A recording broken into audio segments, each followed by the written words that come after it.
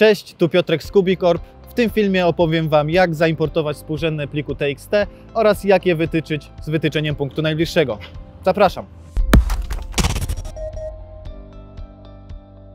W celu zaimportowania pliku ze współrzędnymi TXT do aplikacji QuickGNSS należy w głównym menu wybrać przycisk współrzędne, następnie przycisk import oraz plik tekstowy TXT.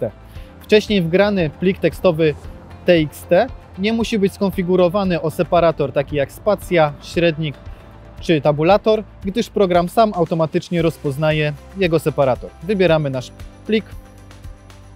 Mamy zaimportowane współrzędne do menu współrzędnych. Aby wytyczyć punkty w aplikacji QuickGNSS, należy wybrać w lewym dolnym rogu menu tyczenie. Aplikacja pozwala nam wytyczyć punkty najbliższe, jak i tyczenie punktu więcej opcji z wyborem punktu z listy lub wyborem z punktu z mapy.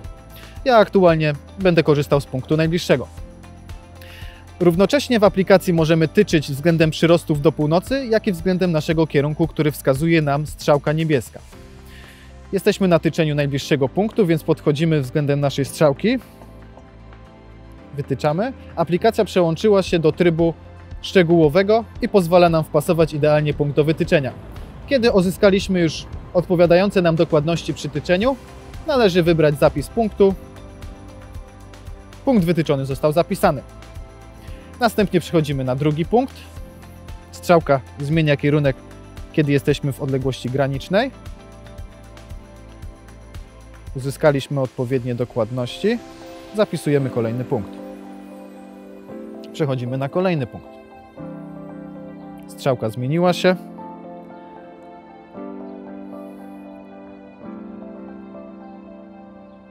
Zapisujemy punkt.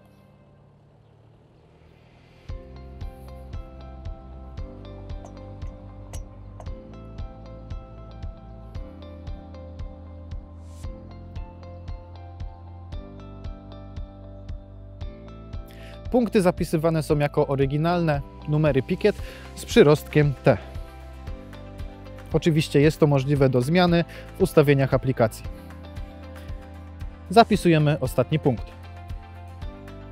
W tym filmie pokazałem Wam, jak zaimportować pliki ze współrzędnymi TXT oraz jak wytyczyć je w terenie. Dawajcie znać w komentarzach, jakie kolejne funkcjonalności aplikacji QuickGNSS chcielibyście zobaczyć. Pozdrawiam!